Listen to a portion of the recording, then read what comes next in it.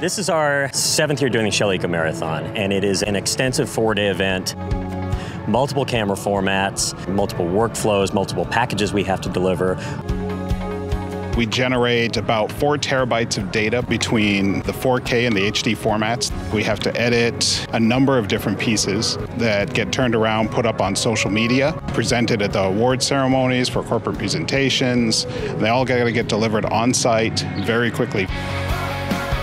As a small to medium sized production company, we were looking for a short term solution as well as a long term solution.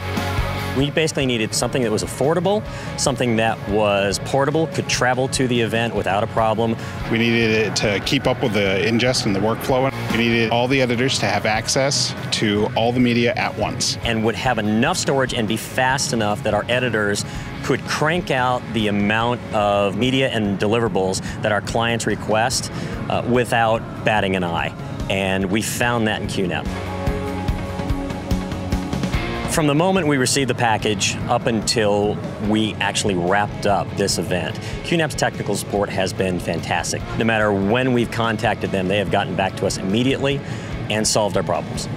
I'm actually very impressed with how it's performed. The 10 gig and the Thunderbolt gave us speed that we needed. We had four editors working off of it all at the same time, uh, one system ingesting media on a constant basis. It wasn't slowing us down, and it held up to an actual production workflow. If someone's looking for an affordable shared storage system, I would recommend the QNAP system. Uh, it performed, it held up to expectations, and it worked for us.